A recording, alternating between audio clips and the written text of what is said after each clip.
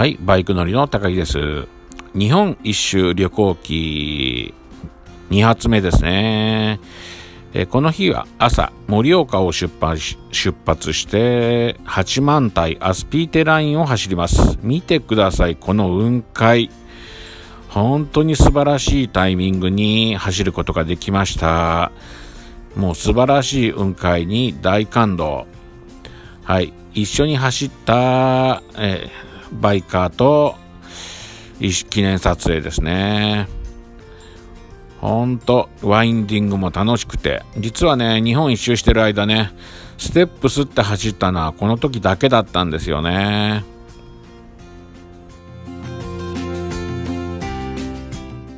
本当に素晴らしいワインディングでした。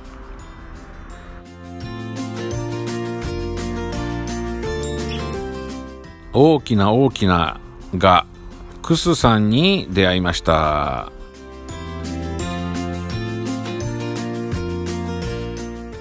そして十和田湖を目指します。十和田湖を経由して奥入瀬渓流ですね。素晴らしい景観です。素晴らしい流れ、身も心も洗ってもらえる感じ。ね、よくね、メディアなんかの映像にも流れる素敵な場所なんですけれどもね。はい。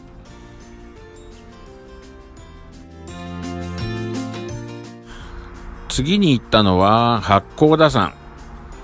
このちょっと前に見てた映画、八甲田山死の方向。先人の苦労に思いを馳せました。ちょうど真っ白にガスが出てましたので、映画の雰囲気さながらに思い起こすことしきりでした。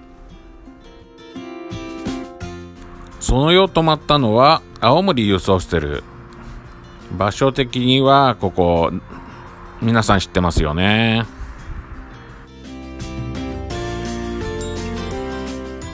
青森を出発する時のオードメーターは2万332キロでした。ここに行ってみたかったんです。下北半島恐山。ねイタコの口寄せで有名な。地獄を具現化したととも言われる。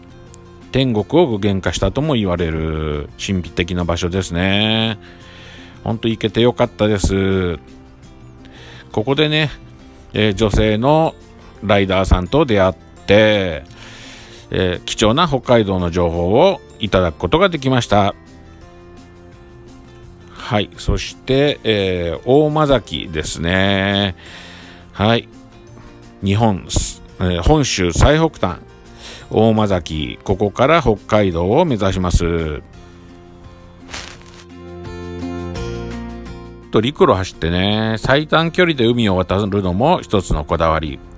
着きました。函館を通り過ぎて、厚サブですね。ここの八の館で一夜の宿をいただきました。仲間もいっぱいいてね、ライダーハウス、とっても楽しかったです。サブの八の館を出発するときには、オドメーター2万598キロ。そこから日本海側を一路北を目指します。素晴らしい天気、素晴らしい海の青さ、この日本海。ね、とっても気分よく海沿いの道を走って行きます。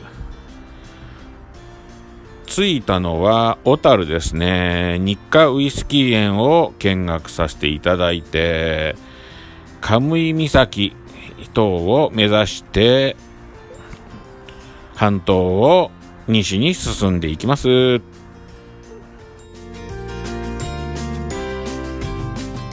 ウニ丼がとっても美味しかったのを思い出しますね。写真はないんですけどね。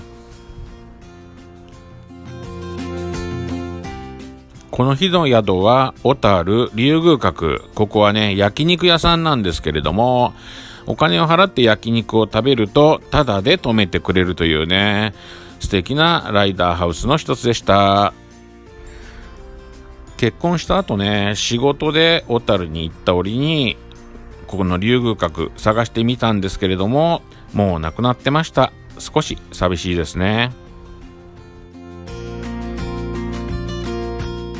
動画を最後までご覧いただきありがとうございます。